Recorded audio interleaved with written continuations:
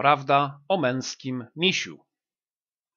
Misio samczak jako taki jest ogólnie miś męski, czyli futrzak. Będąc samczykową trzeba zapewnić mu wiele rzeczy i to na bieżąco, czyli na przykład czochranie futerka rano i wieczorem, drapanie za łóżkiem i mruczenie z nim do taktu, pielęgnację pazurków szlifierką do metalu, aby czuł się jeszcze bardziej męski, zapewnianie słodkości, zabawki i dupci, aby miał zajęcie, obsługę kulinarną, co by misiowi nie przyszło do głowy nadgryzanie pielęgnacji oraz szukanie innej. Ogólne traktowanie misia czule jest obowiązkowe, oczywiście.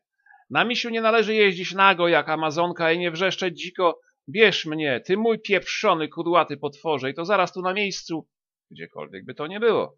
Jak też nie kazać mu tańczyć na gorącej patelni w celu wyuczenia misia tańca, jeśli nie umie i nie lubi.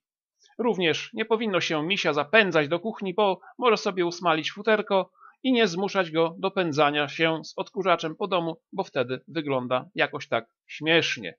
Misio jest misio, misio jest kochany, leniwy pasożytek i nie trzeba go zamęczać. Trzeba dać mu telewizorek, sofcie i piwcio i nie przeszkadzać w oglądaniu meczu. Czasem misio podnieść się potrafi z barłogu, wyleźć z gawry i zaryczeć, jeśli tego potrzebujemy.